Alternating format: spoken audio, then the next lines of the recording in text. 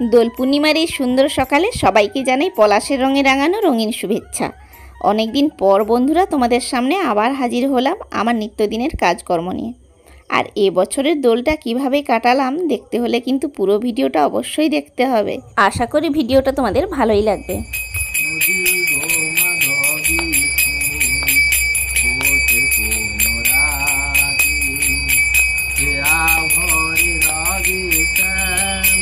Hari Hari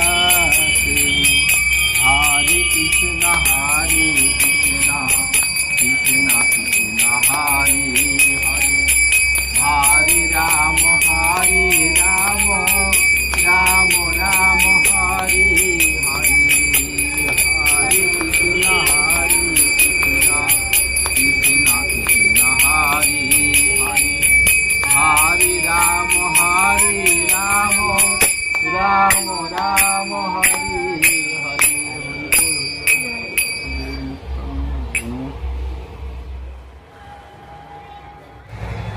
hello বন্ধুরা welcome back to my channel weekly blog Sunanda আশা করি তোমরা সবাই খুব খুব ভালো আছো। নতুন আর একটি ব্লগে তোমাদের সবাইকে স্বাগত। নতুন দিন, নতুন সকালের সাথে চলে এলাম বন্ধু তোমাদের কাছে।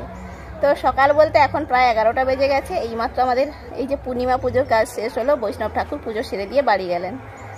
তো চলো সঙ্গে থাকো, ভিডিওটা কন্টিনিউ করো। কী কী করছি তোমাদের সঙ্গে শেয়ার করছি। পুজো শেষ করে আস্তে আস্তেই প্রায় সাড়ে এগারোটা বেজে গেছে। তাই তাড়াহুড়ো করে রান্নাটা চাপালাম। আজকে আর উনুনে রান্না করব না, গ্যাসেই করে নেব। আর যেহেতু পূর্ণিমা, তার জন্য নিরামিষই হবে। তো এক সাইডে ভাত বসিয়ে দিয়েছি আর প্রেসার কুকারে বসিয়েছি মুগের ডাল সেদ্ধ করতে। আর এই দিকে দেখো, আমার বড় কাকিমা এসছে পুজোর প্রসাদ দিতে। আমরাও সবাইকে দিয়ে চলে এসেছি প্রসাদ। আর ওইদিকে দেখো, গলু শুয়ে রয়েছে আর মা সবজি কাটতে কাটতে বড় কাকিমার সঙ্গে একটু গল্প করছে। বাবু আবার রঙও মেখেছে আজকে। ছোটো কাকিমা ওর কপালে কি সুন্দর রং দিয়েছে দেখো। আজকে যে কী খাবে? যেহেতু আজ পূর্ণিমা, কারোর বাড়িতেই মাছ, মাংস নেই। আরও দুধ আর ঘি দিয়ে একটুও ভাত খেতে পছন্দ করে না। দেখা যাক কি হয়। অনেকটা বেলা হয়ে গেছে, তাই শর্টকাটে যা রান্না করা যায় আর কি। এই যে নকশা বড়ির ডাব্বা এনে রেখে দিয়েছি, একটু বড়ি ভেজে নেব আর মাকে বলছি একটু আলু কেটে দিতে, আলু পোস্ত বানাবো। মুগের ডাল তো সেদ্ধ করে রেখেই দিয়েছি, ওটা একটু ছুঁকে দিলেই হলো। আর একটু খেজুর দিয়ে টমেটোর চাটনি বানিয়ে নেব। এই সিম্পল খাওয়া দাওয়া। আর হোলির দিনে কি বলো তো? রং মাখতেই সারাদিন কেটে যায়, সকালবেলাও একবার হয়ে যায় রং মাখা, আবার দুপুরে কোনো সময় হয়। এই যে রান্নাবান্নার জন্য এখন একটু বন্ধই রয়েছে, আর বিকেলে তো প্রচুর রং খেলা হবে। তো যাই হোক, এই কারণে আজকের দিনে এই রং খেলার দিন আপাতত রান্নার দিকে মন কারোরই থাকে না। আর রাতে হোলি বানানোর জন্য কিন্তু আলাদা একটা প্রস্তুতিও থাকে। তো একদিকে রং খেলা, আবার অন্যদিকে হোলির জন্য প্রস্তুতি, সব মিলিয়ে এই হোলির দিনটা প্রচুর পরিমাণে আনন্দ হয়।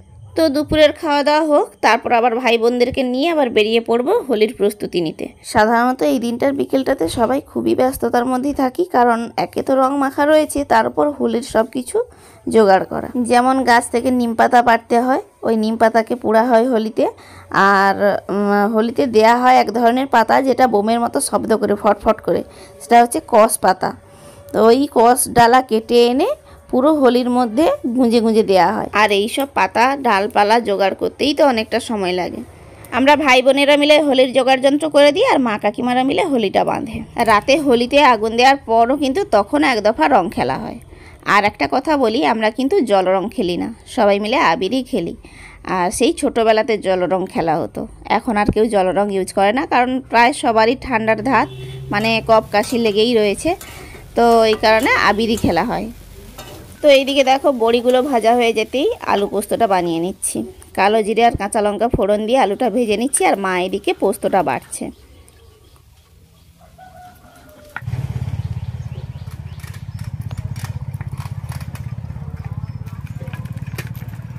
কি অবস্থা তোমার? কি হলো ভিডিও করছি নাকি? হ্যাঁ। এই রং টং খেলে এলাম। বিকালে পুজো ভূত। আছে ভূত বানিয়ে দিয়েছি তো। হ্যাঁ। চলো স্নান টান করো।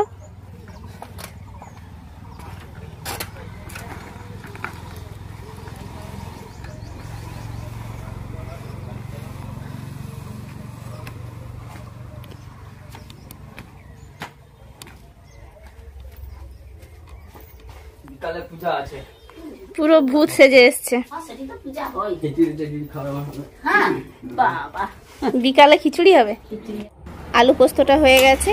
এই যে ডালটা ছুকে দিলাম এরপর চাটনিটা করলেই হয়ে যাবে।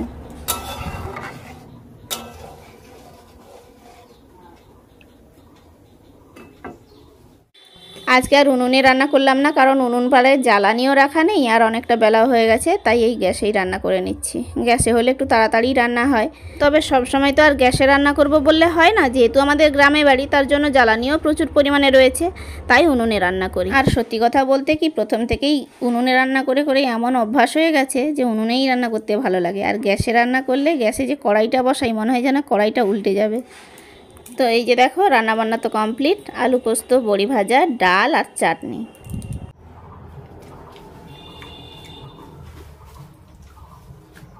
এই হচ্ছে ডিজাইন বড়ি। এই বড়ি খেতে হেভি লাগে বেশ। এই এই এই বড়িটা চায়ের সঙ্গে খেতে হবে। টেস্ট আলাদা। ভাতের সঙ্গে টেস্ট আলাদা। খুলে পড়ে যাচ্ছে ভাই। হালকা। মুচমুচে নকশা বড়ি। হুম একদম মচ মচ করছে পুরো। মচ মচ না মুচমুচ?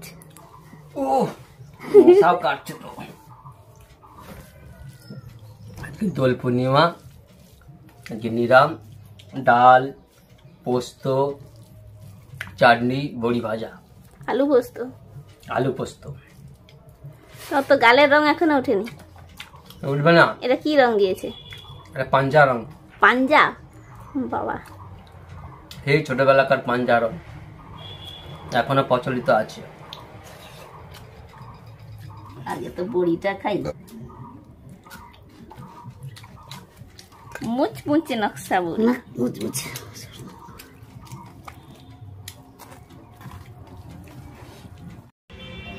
কি হলো?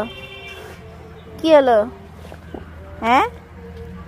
ওরে বাবা। হুম? কথা বল কথা বল। কথা বল, একটু কথা বল।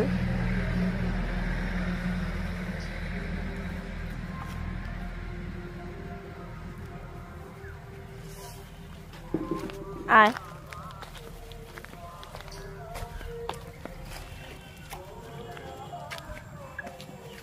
এনে। এনে।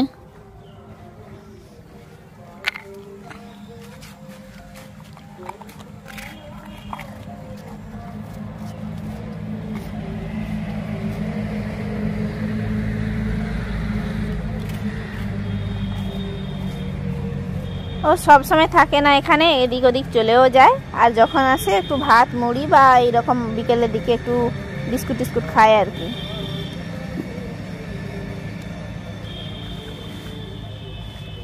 সবাই মিলে হোলির প্রস্তুতি নিচ্ছি আর দেখো আকাশের এক সাইড থেকে মেঘ উঠে গেছে। জামা কাপড়গুলো আবার তুলতে হবে।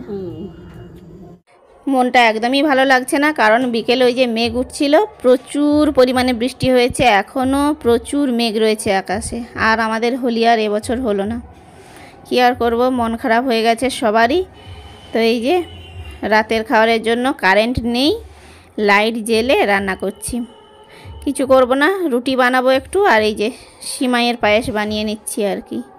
প্রতি বছরের মতো বিকেল আর রং খেলাটাও হলো না। সেই সকালে একটু আধটু রং খেলেছি আর এবছর বিকেলে হলো না মানে এবছর আর রং খেলাই হলো না। কি আর করব। অন্যান্য বছরের মতো এবছর আর আনন্দই করা গেল না। এবছর যেন বৃষ্টির পরিমাণটা একটু বেশি। ঘন ঘনই বৃষ্টি হচ্ছে। দুদিন রোদ হচ্ছে, আবার দুদিন বৃষ্টি হচ্ছে। কি যে হচ্ছে। তো বন্ধুরা, সকালে ভিডিওটা শেষ করতে হচ্ছে, কিছু করার নেই। কালকে দুপুর থেকে যেভাবে মেঘ উঠল আর বৃষ্টি হলো, রং খেলা পুরো যাতা। সকাল থেকে কীরকম রোদ উঠল, অথচ বিকেলে দেখো হঠাৎ মেঘ আর বৃষ্টি। আর আমাদের সাধারণত সকালে থেকেও বিকেলে রং খেলাটা প্রচুর পরিমাণে হয়। ভেবেছিলাম তোমাদের সঙ্গে শেয়ার করব, কিন্তু সে সুযোগ আর হলো না। কি আর করার আছে বলো? আর রাত্রে আমাদের হোলিও হয়। হোলিতে আলু, বেগুন, নিম পাতা পুড়ে খাই। বসন্তের সময় এইগুলো পুড়ে খেলে নাকি ভালো, হোলিতে পুড়ে খেতে হয়। তো যাই হোক, কি আর করার আছে শেয়ার করতে পারলাম না। তো এখন এই যে সকালে স্নানে যাব, বুঝতেই পারছ পুরো মাথা আবির ভর্তি। যাই, স্নানে যাই।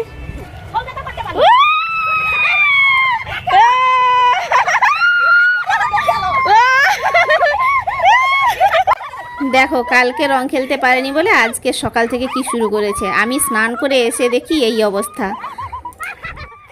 যা গোটা পিঠ এটা ঠাটা উ এই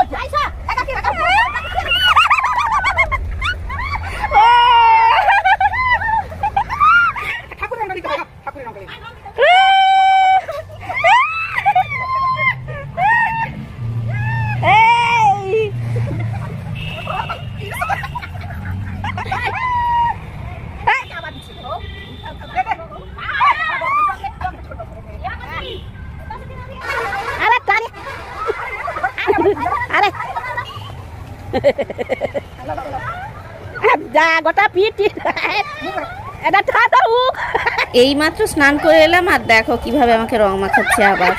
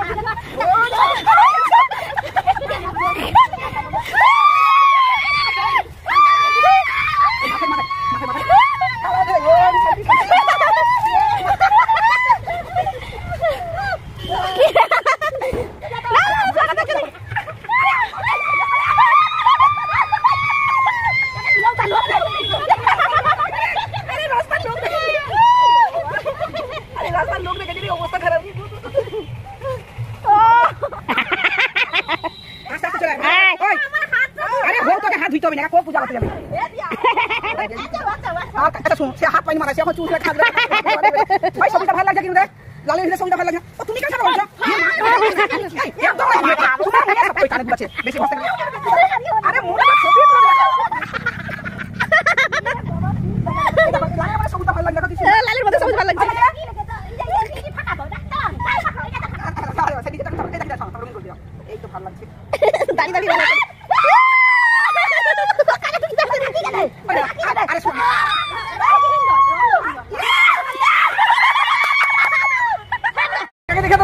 দেবো উৎসাহ পারে। বলে ভালোই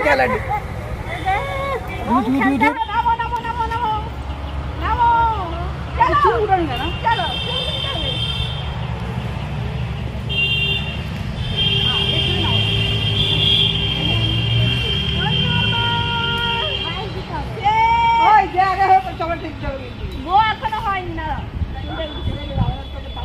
ক্লাসে ধরে গেলে চিনি দিব ধরে গেলে টিকে দিব ধরে চিনি খাবার খেয়ে যাবে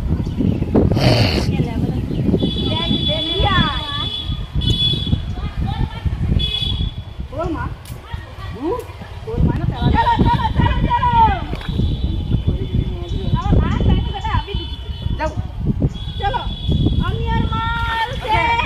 ডুবু ডুবু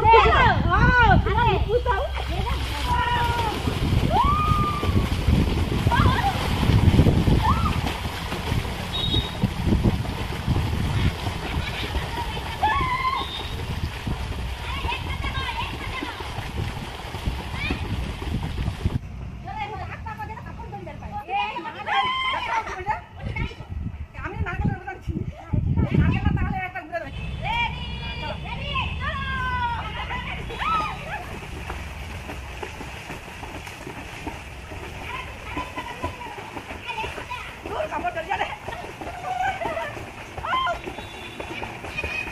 অনেকদিন পুকুরে নামিনি সাঁতার কাটার জন্য। তো আজকে নেমেছি মানে এত সহজে উঠবো না। আর কালকে যে রং মাখতে পাইনি, আজকে একদম সব উসুল করে নিয়েছি। তো বন্ধুরা, আজকের মতো এটুকুই। সবাই সুস্থ থেকো, ভালো থেকো, সাবধানে থেকো। দেখা হচ্ছে নেক্সট ব্লগে টাটা!